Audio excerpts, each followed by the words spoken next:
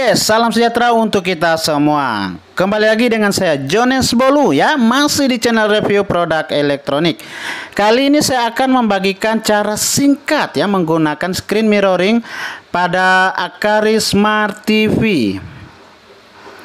Oke, jika ingin menghubungkan Smart TV dengan smartphone, kita hidupkan dulu fitur Smart Connect yang ada di layar TV.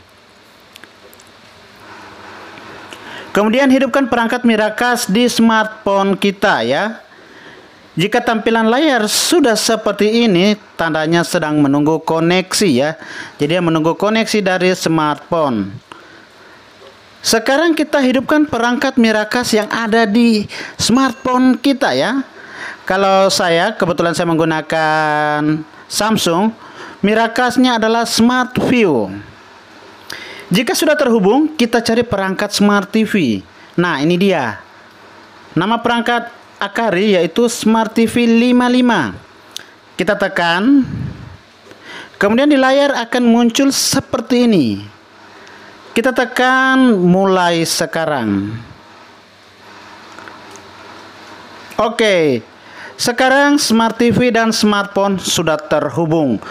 Jadi kita bisa mengendalikan seluruh aktivitas yang ada di smartphone kita ke layar kaca ya atau ke layar TV.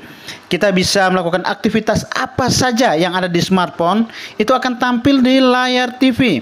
Kita bisa buka galeri, lihat-lihat video, mau lihat-lihat foto. Apa pun aktivitasnya, dia akan ditampilkan di layar TV. Untuk zaman sekarang kebetulan mungkin rapatnya menggunakan Zoom ya jadi paling asik ya, mungkin tampilannya akan lebih besar jika kita menggunakan smart TV ini ya atau perangkat Mirakas ya. Jadi dia akan menghubungkan langsung ke TV. Mau buka apa lagi? Buka YouTube boleh ya. Kita mau buka YouTube, mau lihat apa pun yang ada di YouTube bisa ya. Mau lagu, mau nonton bola, olahraga, apa pun semuanya akan tampil di TV. Jadi asik bukan ya? Jadi tinggal gampang. Kendalikan dari handphone, tampilkan di layar TV. Mungkin demikian dulu tutorial singkat saya kali ini. Jika kalian rasa ini bermanfaat, silakan bantu saya untuk subscribe, like, dan bagikan. Oke, terima kasih. God bless you all.